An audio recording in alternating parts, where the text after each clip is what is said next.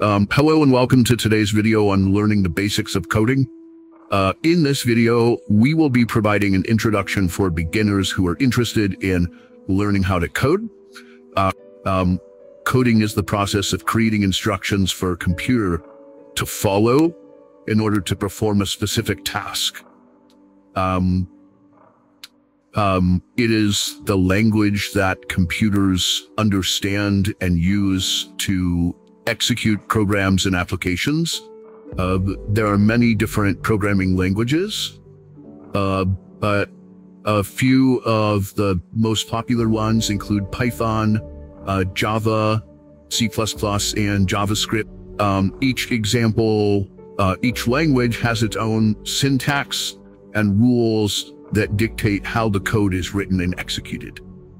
Um, when learning to code, it is important to start uh, with the basics. Um, and uh, uh, this includes understanding variables, uh, data types, loops, and conditional statements.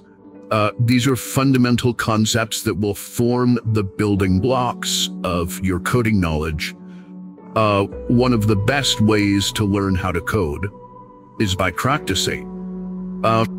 There are many online platforms like Codecademy, Khan Academy, and FreeCodeCamp that offer interactive lessons and challenges to help you build your coding skills.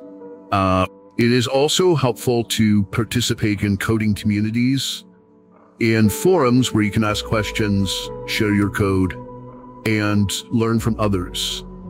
Um, surrounding yourself with a supportive network of fellow coders can help you stay motivated and engaged in your learning journey.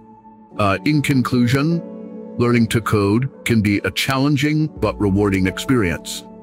Um, by starting with the basics and practicing regularly, you can build a strong foundation of coding knowledge that will open up a world of opportunities in the tech industry. Um, thank you for watching, and we hope this video has inspired you to start your coding journey. Uh, happy coding.